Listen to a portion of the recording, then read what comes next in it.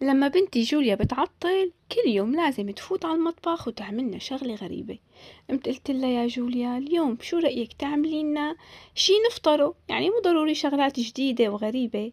اعملي لنا شي نفطره قال إيه شو رأيك أعمل لك بيتزا صغيرة؟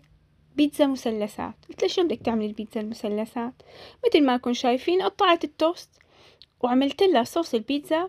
كمان في منه بيجي جاهز بالأطرميز بس بتفتحه وبتحطه.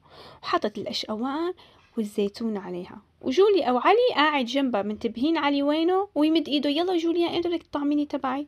ساعدتها لجوليا لحتى حط لها إياهم بالفرن. وبعدين كمان طلعت لها إياهم لما كانوا سخنين مشان ما تحرق إيدها.